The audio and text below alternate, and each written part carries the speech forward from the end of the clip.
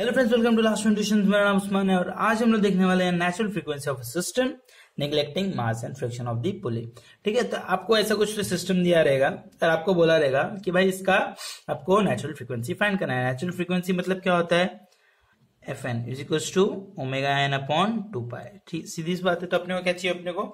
Omega N तो omega N ढूंढना है। सीधी सी बात है तो ओमेगा एन मिलेगा कैसे? तो पहले तो इस सिस्टम ऐसे कुछ दिख रहा है कि दो पुली है भाई, एक जगह मास अटैच्ड है डिस्प्लेसमेंट एक्स दिया है, और के वन और के टू स्टिफनेस दिया है स्प्रिंग का टू के टू के ठीक है तो अपन ढूंढना है। तो ढूंढ लेंगे। क्या करेंगे पहले? एफबीडी बनाएँगे। तो सीधी सी बात है कि जब मास को हम डिस्प्लेस करेंगे तो उसके पहले एक फोर्स होता है स्टैटिक फोर्स वो कितना होगा? स्प्रिंग के अंदर जब भी आपने मास अटैच किया तो स्प्रिंग थोड़ा डिफ्लेक्ट होगी। तो स्टैटिक फोर्स कितना स्टैटिक फोर्स कितना होगा? F is to K delta जो कि है अपना मास अटैच करने पे कितना फोर्स मिला स्प्रिंग में तो वो ये ये मिलेगा, ठीक है? बट डिफ्लेक्शन देने के बाद आपको ये फोर्स मिलेगा के इंटू एक्स जो कि आपका डिस्प्लेसमेंट डिस्टेंस है, ठीक है? अब आपको पता है कि भाई, अगर इधर मास एम है तो सेम मास इधर भी अटैच होगा, किधर? इस स्प्रिंग इस स्ट्रिंग में। अभी यहाँ पर अगर मास एम है तो सीधी सी बात है ओवरऑल इधर भी एम आना चाहिए और फिर यहाँ पर भी एम आना चाहिए। बराबर है ना? तब जाके सिस्टम बैलेंस होगा और ऊपर का जो फोर्स लगेगा वो टू एम होगा और नीचे के जो इसमें फोर्स लगेगा वो भी टू एम होगा। तब जाके आपका सिस्टम इक्विलिब्रियम में होगा। मतलब मतलब इन्हें तो टूट जाएगा ना यार। अगर अगर देखो, यहाँ एम से हो रहा है, यहाँ एम नहीं हुआ तो आपका सिस्टम पूरा डिसबैलेंस हो सकता है। इसलिए क्या होना चाहिए? एम इधर होगा तो एम यहाँ पर भी होना चाहिए, वरना स्ट्रिंग टूट सकती है। ठीक है? अब अगर यहाँ पर कम वैल्यू हुआ ना तो यहाँ स्ट्रेस आएगा और ये टूट सकता है। तो इसलिए सेम होता है, ठीक है वैल्यू इतना समझ के चलो। अब हम लोग को क्या पता है डिस्प्लेसमेंट दिया है तो उसके पहले अपन देख लेंगे क्या क्या है अपने पास। तो एफ़ के हिसाब से अपने पास स्प्रिंग फोर्स है, ठीक है? पहले स्प्रिंग का कितना है वो? टू एम बराबर एम जी एम जी और स्प्रिंग फोर्स में कितना लगेगा? यही फोर्स लगेगा। स्प्रिंग फोर्स में टू एम जी सीधी सी बात है, अब स्टैटिक डिफ्लेक्शन कितना था? डेल्टा वन है ना? अगर डेल्टा है, पहले स्प्रिंग का डिफ्लेक्शन तो डेल्टा वन बोलेंगे, अगर डेल्टा को हम लोग डिफ्लेक्शन बोलेंगे तो delta one is first spring का डिफ्लेक्शन। अब फोर्स इन स्प्रिंग टू में क्या होगा? सेम टू एम जी और इसका डिफ्लेक्शन क्या होगा? Delta two. अब यहाँ पर देखो मैंने वैल्यू लिखी है, two M G upon K two, और यहाँ पर two M G upon K one. तो ये कहाँ से आया? ये आया यहाँ से। कैसे? देखो, अपने को पता है force is equals to K delta.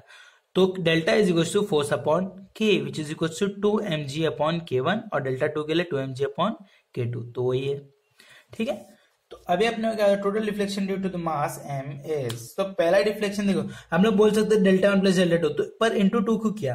क्योंकि देखो डिफ्लेक्शन क्या होगा, इसके और इसकी वजह से होगा इसमें तो ये, अगर इससे अगर एक्स डिस्प्लेस हो रहा है तो इससे टू टाइम्स होगा ना अगर इससे एक्स हुआ तो इससे इस, इसको मिला लेंगे तो टू एक्स का डिस्प्लेसमेंट इसमें आएगा। प्लस अगर इसको और इसको देखेंगे और ये ये ऐसा खींचेगा ना इसको तो इसके लिए इधर दो दुगनी फोर्स लग रही है तो इसका डिफ्लेक्शन कितना होगा? टू एक्स है। इसलिए टू कॉमन ले लिया। टू एक्स बोलेंगे अपन डेल्टा बोलेंगे क्योंकि अपने स्टैटिक के लिए देख रहे हैं। तो क्या लेगा ये? Delta one plus delta two और ये टू टाइम्स हो जाएगा। ठीक है? अब सीधी सी बात है डेल्टा डेल्टा की वैल्यू डाल दो। अपने को जो वैल्यू मिली थी, देखो यहाँ पर, ये वैल्यू डाल देना है। टू एम जी कॉमन लेके बाहर फेंक देना है तो फोर एम जी हो जाएगा और फिर इसको क्रॉस मल्टीप्लाई करके ऐसा लिख देना है। उसके बाद अपने को पता है omega N is to root of G by delta तो root of G by delta सीधी सी बात है डेल्टा की वैल्यू सब्सिट्यूट कर देंगे जी जी उड़ जाएगा। अब ओमेगा की वैल्यू मिल गई ओमेगा वैल्यू होगी रेडियन पर सेकंड में। अब अपने को क्या चाहिए? नेचुरल फ्रीक्वेंसी तो नेचुरल फ्रीक्वेंसी क्या है? F N which is equal to omega N upon two pi अपने को क्या है ओमेगा एन ऐसा भी होता है है ना? के बाय एम बट देखो, आखिरी में अपने को वही मिलेगा, देखो यहाँ पर। कैसे मिलेगा? ओमेगा एन डालेंगे। तो वैल्यूज़ बट देखो, हर एक सिस्टम के अलग होगी। यहाँ पर यहाँ पर क्या था अपना? के वन और के टू सेम था। तो अपने को सेम वैल्यू मिल गई बट अगर डिफरेंट होगा तो थोड़ी डिफरेंट मिल सकती है, ठीक है? तो हर सिस्टम के लिए ओमेगा एन की वैल्यू डिफर करती है। इतना याद रखना सेम नहीं होती। तो one upon two pi equal one upon two pi root of omega N की वैल्यू डाल दी अपन ने। अब अपने क्या के वन के टू की वैल्यू पता है गिवन था इक्वेशन में मतलब क्वेश्चन में K one K two is equal to two K तो डाला वैल्यू थोड़ा कट हुआ, देखो फोर हो गया था यहाँ पर, ये फोर और ये फोर कट गया। ये फोर बाहर आगे टू हो जाएगा यहाँ पर। और तो यहाँ पर ये कट के क्या मिलेगा? फोर और फोर उड़ गया। के और के उड़ जाएगा। और बचेगा के अपॉन फोर एम तो क्या पर? के अपॉन फोर एम आएगा। दैट्स इट और आप चाहिए तो फोर को बाहर लेके टू लिख सकते हो, पर ऐसे रहने देंगे इसको, ठीक है? तो ये था अपना natural frequency of a system जो कि सिस्टम अपना कुछ ऐसे दिखता था। ठीक है? तो आज के लिए इतना ही।